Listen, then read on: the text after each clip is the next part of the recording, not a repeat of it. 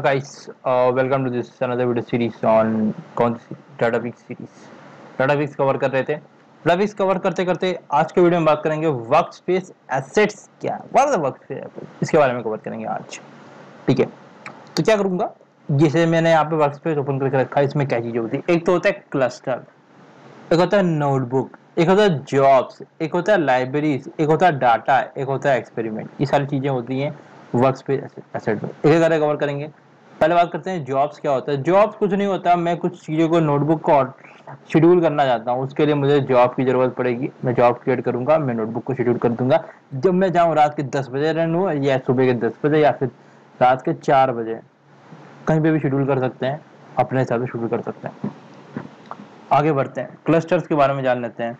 Database cluster is a set of uh, resources and configuration on which uh, you run data engineering data science machine learning and data analytics workload such as production etl pipeline streaming analytics ad hoc uh, analytics and machine learning इसका मतलब क्या है मतलब simple है cluster मुझे चाहिए notebook को run करने के लिए I want to run a notebook so I will create a cluster for that. I have to create a cluster cluster के बिना मैं नोटबुक क्रिएट नहीं कर सकता क्रिएट कर दूँगा मैं। रन नहीं कर सकता क्लस्टर में ज़रूरत पड़ेगी। जिस तरह से सिनैप्स में मुझे क्या ज़रूरत पड़ती थी? स्पार्क पूल वही ये क्लस्टर यहाँ पे नाम चेंज कर दिया, नामकरण अलग कर दिया इन्होंने। क्लस्टर यही है। क्लस्टर ज़रूरत पड़ती है हम लोगों को इस सब चीज़ों को कवर करने करने के लिए। मैं यहाँ पे एक नोटबुक क्रिएट करता हूँ। यार, यहाँ पे क्लिक करूँगा क्रिएट नोटबुक नोटबुक में यहाँ पे जाइए यहाँ पे मेरे को क्लस्टर चूज़ करने को बोलेगा। अगर मैं ए बी सी डी कर दूँगा मेरा क्रिएट तो हो जाएगा मगर मैं जब क्लस्टर क्रिएट कर, रन करूँगा क्लस्टर की ज़रूरत पड़ेगी। मैं क्लस्टर्स को यहाँ पे कंप्यूट में क्लिक करूँगा अगर तो कंप्यूट में मैं यहाँ पे क्रिएट क्लस्टर कर सकता हूँ। Single user no isolation share सब कुछ। रन टाइम बताएगा ये कौन सा वाला चूज़ करना चाहते हैं ठीक है। अब यहाँ पे सबसे बढ़िया कौन सा दिखा रहा है? Run time 10.4 I don't know 10.4 क्यों दे रहा है मुझे यहाँ पे। मैं 11.2 करना चाहता हूँ। 11.2 लेटेस्ट से 11.2 करे। स्टैंडर्ड में एमएल के भी लिए है। देखो एमएल वाला जीपीयू वाला होता है। जीपीयू अगर है तो मेरे को पैसा भी ज़्यादा लगेगा, पर परफॉर्मेंस भी अच्छी मिलेगी। अगर आप एम का काम कर रहे हैं तो I would suggest to go with this GPU one पर आप देखे कोर्स ज़्यादा लगने वाला है तो उस हिसाब से आप देखें एम का मैं क्लिक कर रहा हूँ यहाँ पे। ठीक है। Spark version is incompatible with selected driver and worker node type तो मैं इसको ये चूज़ नहीं कर सकता। मैं अगर ये वाला चूज़ करूँगा तो मुझे ये करेगा। ठीक है। चूज़ कर रहा है मेरे को। आई डोंट नो मेरे को ये एम वाला क्यों चूज़ करने को नहीं दे रहा था? सिक्स मोर करेगा। तो यहाँ पे मैं स्टैंडर्ड अभी कर रहा हूँ। अभी के लिए स्टैंडर्ड कर रहा हूँ। Minimum worker nodes maximum workers मतलब यार ये थोड़ा सा आपका ना कितना नोट्स चाहिए मुझे वर्क का नोट्स ताकि मैं उस चीज़ को रन कर सकूँ, उस क्वेरी को। मेरा अगर बहुत ज़्यादा क्वेरी है, ज़्यादा नोट की ज़रूरत पड़ेगी, नहीं तो फिर मेरा क्वेरी बहुत ज़्यादा स्लो हो जाएगा। Driver type same as worker यहाँ पर डाल सकते हैं। टैग से एडवांस इंफॉर्मेशन सब कुछ, ये क्लस्टर वस्टर सब कवर करेंगे आने वाले सेशन में। आगे बढ़ते हैं हम। अब नोटबुक के बारे में बात करते हैं नोटबुक क्या होता है यार? नोटबुक आपको पता होगा नोटबुक क्या होता है? आपको पता ही होगा, अगर आपने नोटबुक के बारे में थोड़ा कवर कर लेते हैं। नोटबुक ये कैंसिल करते हैं कि क्लस्टर को किसी और दिन क्रिएट करेंगे नोटबुक के बारे में थोड़ा बात कर लेते हैं।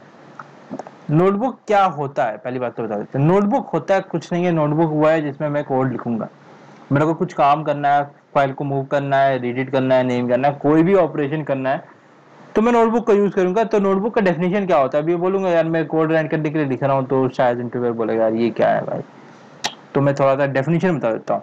Notebook is a web based interface to document to document documents containing a series of runnable cells commands that operate on files and table visualisation and narrative text commands can be run in sequence referring to the output of one or more previously run command ये वही है ना चतुर वाला देखा था ना आपने थ्री इडियट में उस तरह का डेफिनेशन रटना पड़ता है। ना ना वो बताना पड़ेगा क्योंकि इंटरव्यूअर को भी यही चाहिए। आप सिंपल वैसे में बताएँगे ना नोटबुक को हम लोग यूज़ करते हैं कोड को लिखने के लिए वहाँ पे सेल पेल होता है तो कोई बोलेगा ये क्या है?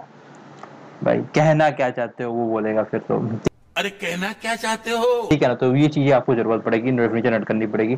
जॉब्स बताया jobs the mechanism for running code in Azure Databricks libraries libraries में third party or locally built build code available to notebooks and jobs running on your cluster. Libraries जितना पैथर की जितनी लाइब्रेरीज होती है वो आप यूज़ कर सकते हो। ठीक है। अब डाटा क्या होता है? यू कैन इम्पोर्ट डाटा मैं फ़ाइल इम्पोर्ट कर सकता हूँ नोटबुक इम्पोर्ट कर सकता हूँ। In your distributed file system monitor in Azure database workspace एक हम लोगों का डी uh, क्या बोलते हैं? D F S D F S नहीं। D B F S D B F S बोलते हैं मेरे ख्याल से। डिस्ट्रीब्यूटेड फ़ाइल सिस्टम होता है, उसको हम लोगों को मिलता है, वहाँ पे मैं अपने कुछ फाइल्स को अपलोड कर सकता हूँ और देख उसकी क्वेरी कर सकता हूँ। पर क्या तरीका है? सही तरीका नहीं है, आप सही तरीका, आप एजोर ब्लॉब स्टोरेज का यूज़ करें माउंट पास करके वो करें, वो दैट्स बेटर अप्रोच आपका ये नहीं करना चाहिए, ठीक है? पर आप डेमो पर्पज के लिए आप यूज़ कर सकते हैं फास्ट सम टाइम ठीक है you can use a wide variety of Azure Spark data sources to access data experiments क्या है? ML workflow experience let you run ML flow machine learning model training मेरे ख्याल से मैंने आपको डाटा नहीं दिखाया डाटा पे क्लिक करूँगा, यहाँ पे डाटा जब मेरे को डाटा बेस डीवीएफएस आ जाएगा डीवीएफएस में उसको मैं कर सकता हूँ। मैं यहाँ पे कुछ ऐसे फाइल्स अपलोड कर सकता हूँ। दैट काइंड ऑफ़ स्टफ़ मैं कर सकता हूँ। ये डीवीएफएस मेरे ख्याल से मैंने इनेबल नहीं करके रखा सेटिंग कहाँ है भैया? ओके यहाँ पे camera is lost okay my bad my bad okay मुझे सेटिंग ढूंढना पड़ेगा यहाँ पे. मीटिंग ऑप्शन से आई थिंक सेटिंग में जाऊँगा मैं. यूज़र सेटिंग मेरे ख्याल से यहाँ पे एडमिन कंसोल एडमिन कंसोल में जाऊँगा मेरे ख्याल से. वर्क स्पेस सेटिंग में जाऊँगा.